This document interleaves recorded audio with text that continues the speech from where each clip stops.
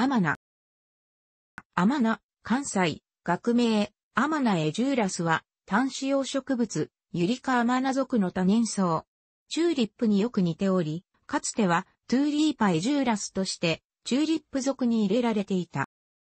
名前は、球根が甘く、食用できるところから、別名麦クワイと言い、これは、球根の形をクワイになぞらえたもの。調理法も、クワイと同様である。地下には高卵形の球根を持つ。球根は外側に黒っぽい皮がある。10センチメートル以の深さにうずもれており、しかもそれにつながる茎が細いので、掘り出そうとしても切ってしまうことが多い。葉はこの茎の中ほどからつくので、地表では根質葉のように見える。葉は2枚、ほぼ同じ大きさのものが向かい合う。線形で長さ10から25センチメートル、幅は5から10ミリメートル、中央がくぼんで U の字になっている。色は緑色で、裏面はちょっと紫がかり、全体に白い香を吹いたような感じに見える。この葉の間から早春に15センチメートルほどの花茎を立て、その先端に白い花を一つだけつける。花の少し下には一体のツトがあり、小さな葉状で緑色をしている。花皮は6個、長さ20から25ミリメートル、飛信型で先端がやや尖り、白で背面には紫の筋が入る。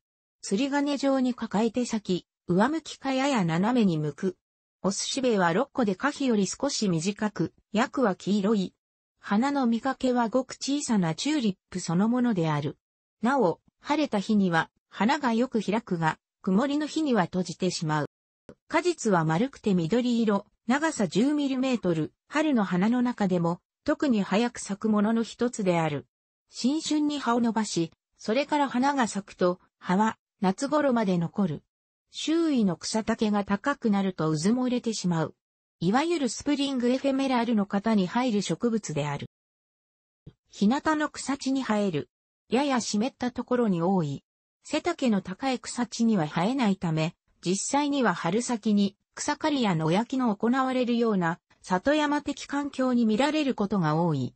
水田のあぜや河川の堤防などに生育地が多かったが、現在ではそのような環境は大きく変化しており、見られる場所は少なくなっている。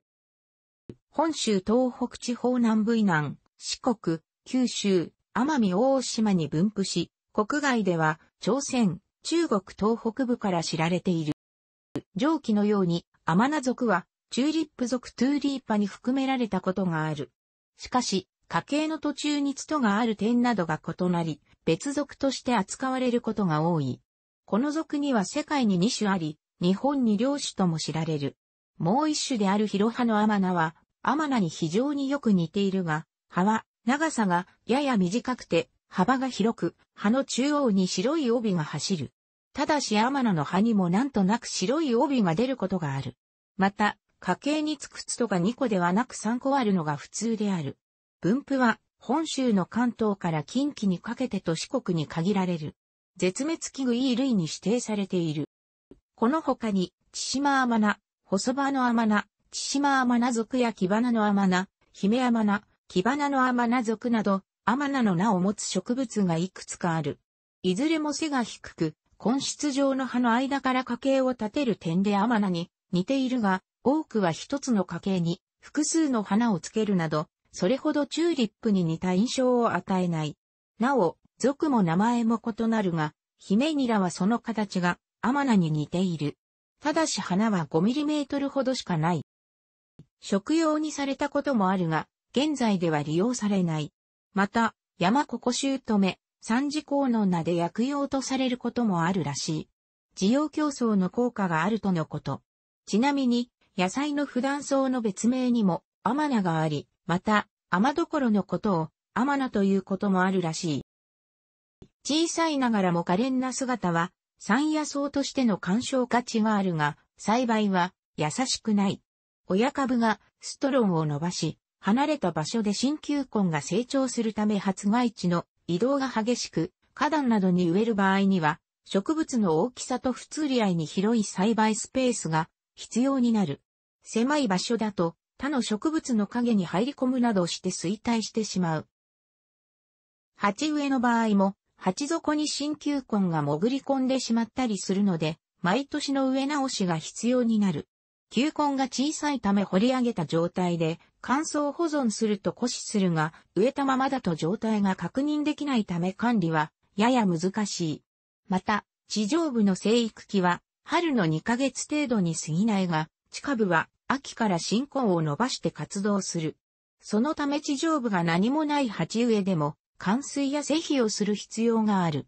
葉のある時期には十分な日照が必要になるが、日に当たって鉢内の温度が高くなると休眠が早まってしまうジレンマもある。十分な肥料と地上生育期の十分な日照がないと花つきが悪く、花がついても晴れた日の日中にしか開かない。咲いても色彩的に地味で目立たず、栽培の手間暇に見合うとは言い難い。